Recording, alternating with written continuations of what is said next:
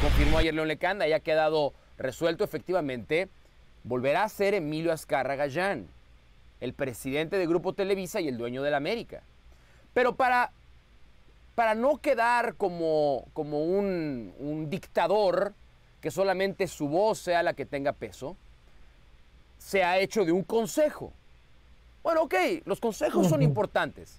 Las otras voces, los contrapesos a veces son decisivos. ¿Quiénes van a ser esos contrapesos? A Mauri Vergara, que nos ha quedado claro que el fútbol no sabe. A Mauri Vergara. A Mauri Oh, Vergara, no sabe. Por Dios. Santos. Eh, ahí voy a llegar al último. Ahí voy a llegar al último. Tijuana. Tijuana. Tijuana guion Querétaro. No hay proyectos tan fallidos en el fútbol mexicano en los últimos cinco años como Tijuana y Querétaro. No los hay. No los van a encontrar. Llamamos Chivas. ¿De Tijuana fatal. tenemos nombre? Tijuana, Querétaro, pues. Es, es la familia Hank.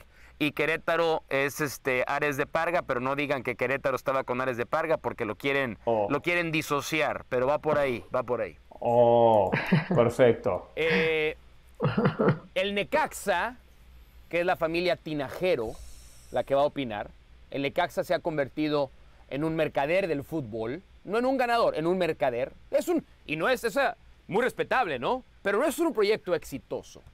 Necaxa es un mercader del fútbol. Compra barato, vende caro. Ese es el modelo de Necaxa. No le importa ganar, no le importa perder, le importa facturar, como cantaría Shakira. Y el último es Grupo Santos. ¿Cuál es la verdadera nota aquí? No está Grupo Pachuca. No está el verdadero De contrapeso del fútbol mexicano. Y eso es lo que me entristece. Porque tres de cinco voces son de proyectos fallidos en el fútbol mexicano. Y esa es mi gran tristeza. Se confirma mi gran tristeza con el reporte de David que dice que Grupo Pachuca tenía apalabrado a Marcelo Bielsa. ¿Se acuerdan que yo dije la semana pasada? "Ah, lo que dijo David, no hay noticia realmente, es una utopía. No, lo que dice hoy David es, Bielsa sí está interesado. Esa es noticia.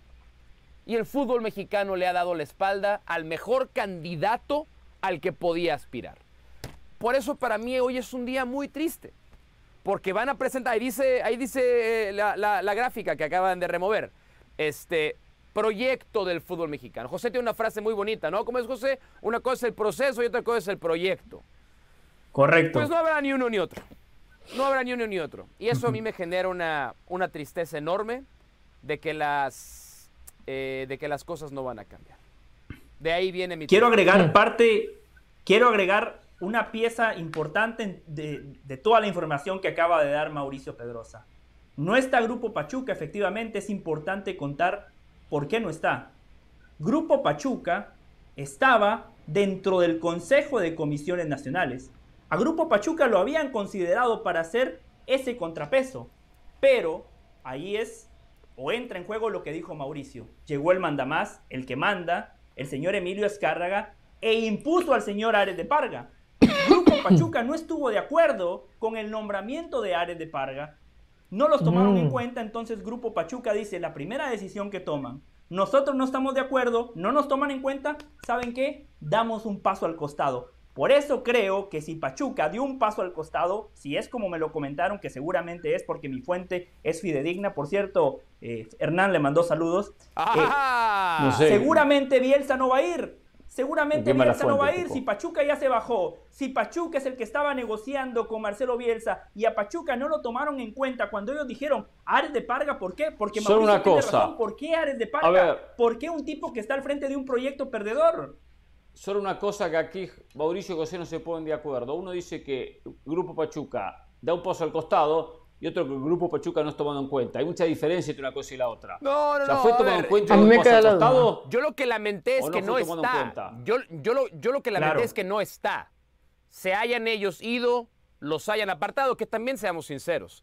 En, en el juego del ajedrez de la política, tú haces algunos movimientos para eh, involuntariamente apartar a alguien, alejarte de algún lado. Entonces, se toman Sí. decisiones que pueden llegar a obligar a Grupo Pachuca a hacerse a un lado, ¿no?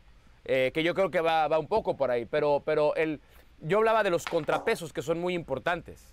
Porque al final, en la corte del Yo no, yo no tenía el... si nada más, si nada más Sí, tiene sí. gente que le va a decir sí señor, sí señor, sí señor, es Claro, una broma Sí. el comité. Una broma el comité. Eso es lo que Sí, a ver, yo, yo no tenía Sí, el detalle que, que acaba de decir José, que se apartó el grupo Pachuca. Me parece que es muy bueno ese detalle y creo que eso es un error que se comete cuando hay alguien que hace de dictador, que era lo que comentaba un poco eh, Pedrosa, ¿no? Eh, yo creo que cuando hay un dictador, si, si no te sacan, tú no te vayas, porque entonces las posibilidades de que tengas una influencia es mucho, es mucho menor. Me lo, me lo ha enseñado así la política. Creo que Pachuca, aunque no le guste la decisión, debe tratar de mantenerse un poco más para ver si logra algo más por el fútbol mexicano. Pero bueno, eso.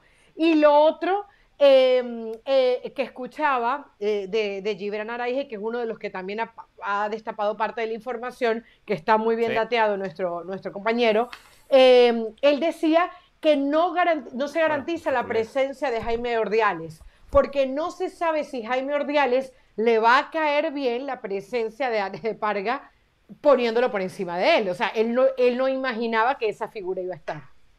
Ahora, eh, claro. Dos cosas que quiero comentar. se- seamos A seamos ver, sinceros, nada más cosas. rápido, nada más rápido, rápido, rápido, Hernán. Eh, Ja- Sí, Jaime sí, Ordiales vamos, nunca vamos- figuró. vamos a- acá somos generosos Jaime- con los tiempos, señor Pedrosa. No, nada más quiero decir que nunca, ¿eh? no se preocupen por, por, por Jaime Ordiales, nunca figuró.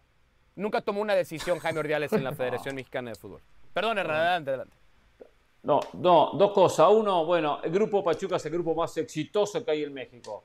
Que haya dado un paso al costado o que no lo tomen en cuenta ya es debilitarse. Hay que siempre acercarse a los exitosos. Segundo, cambia el técnico, cambia el director deportivo, cambia de director de selecciones. Director deportivo está, pero no cambia, pero, pero como dice Mauricio, no tiene ningún peso. Cambia los dirigentes, cambia el consejo. Tantos cambios terminan mal. Cuando hay muchos cambios, termina mal. Hay que tener una base sólida, hay que tener algo sólido, armado, ya eh, eh, corriendo, ejecutando, trabajando. ¿Y sabe qué? Esta fichita la cambiamos. Pero esta fichita porque no funcionó, pero el resto funciona. Es como que un equipo prácticamente sacó al técnico, sacó a los jugadores, sacó al arquero, sacó a todos. No se va a armar de la noche a la mañana. Esto va camino al fracaso. Y va camino al fracaso por tantos cambios. Se puede cambiar tanto porque Mm. todos estarán aprendiendo. Puede que Ares de Parga no sepa, irá intentando aprender, si va a equivocar porque todos nos equivocamos en el camino cuando no tenemos experiencia en un puesto.